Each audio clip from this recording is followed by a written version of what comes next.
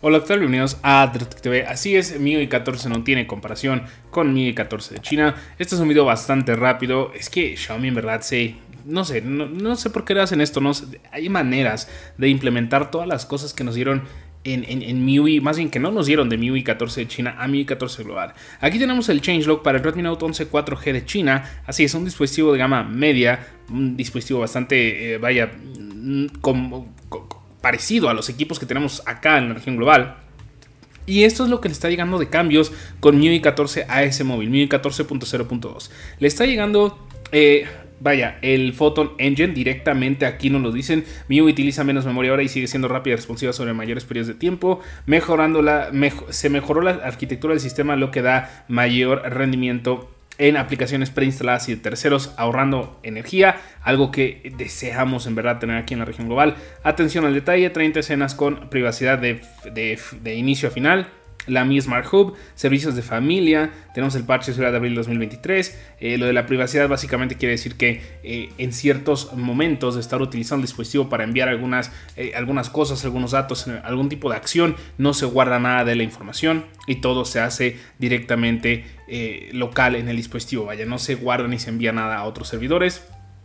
Eh, que otras cosas. El asistente de voz de Xiaomi directamente de allá, pues permite hacer muchas cosas y se mejoró bastante con diferentes comandos, diferentes eh, escenas en las que puede detectar cosas como llamadas spam y filtrarlas para que ni siquiera te molesten, entre otras cosas más. La búsqueda en ajustes ahora con las categorías, que eso sí lo tenemos. El dispositivo ahora funciona con aún más lectores de tarjetas inalámbricos. Puedes agregar directamente, por ejemplo, identificaciones de universidades, de escuelas o de lugares a tu dispositivo ya sin ninguna aplicación y vas a poderlo escanear directamente así y cosas de ese estilo. Obviamente también tenemos las mejoras como el escoger eh, qué cuentas tener activas, qué cuentas mantener las tarjetas, todo eso. También puedes mejorar la conexión de datos móviles, de Wi-Fi, perdón, con tus datos móviles. Entonces, bastantes mejoras. Mira el changelog, lo que les llegó a ellos, y compáralo con lo que nos llegó a nosotros los usuarios globales con el Redmi Note 11S en la región de Europa estable, un dispositivo muy similar al que vimos actualizándose en la región de China, que le llegó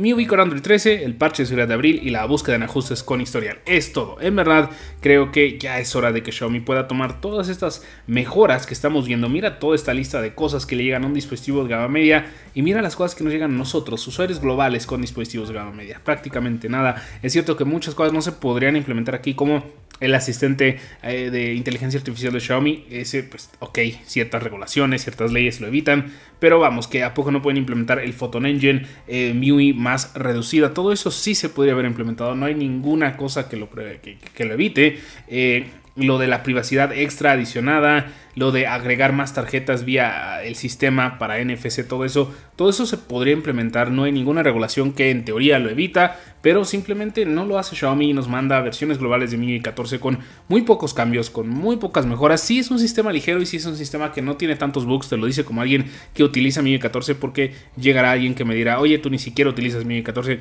llevo más de un mes utilizándolo. Puedo decirte que es un software estable, sin bugs, pero pues prácticamente nada directamente nuevo, ¿no? Cae de nuevo, pues casi no hay nada de nuevo las supercarpetas que las estás viendo justo aquí y prácticamente sería todo. Entonces definitivamente creo que Xiaomi puede darnos muchas más mejoras, esperemos y para las siguientes versiones de MIUI ya no tengamos esto sucediendo con versiones globales sin prácticamente nada, mira, y versiones de China con un mundo distinto en cuanto a cambios, ¿no? Dime tú qué opinas en cuanto a esto, ¿crees que está bien, crees que está mal, crees que hay en verdad razones verídicas por las cuales no podría Xiaomi en realidad darnos estas actualizaciones? ¿Crees que hay algo que lo justifique? Dime tú opinión abajo en los comentarios. Y de paso, dale que el video te gustó. Si te dio este sirvió, compártelo con algún amigo. Y no olvides suscribirte si es que no estás suscrito también. Dale a la campanita que está de otro lado. Así tú te va a avisar cada que tengamos un video nuevo en el canal. Perdón si me enredé un poquito en este video, pero es que en verdad me, me, pone un poquito, vaya, no voy a decir que me enoja, pero definitivamente es algo molesto el ver tantas mejoras, tantas cosas que podrían hacer equipos de años anteriores. Incluso imagínate un Redmi Note 9, Redmi Note 9S, Redmi Note 9 Pro con las mejoras del Photon Engine haciendo que las aplicaciones funcionen mejor, incluso las de terceras personas, no solo las preinstaladas, creo que les daría mucha más vida a los dispositivos. Esperemos y a futuro haga Xiaomi esto. Es todo, gracias por visto el video y te veo muy pronto con más videos aquí en Dertec TV.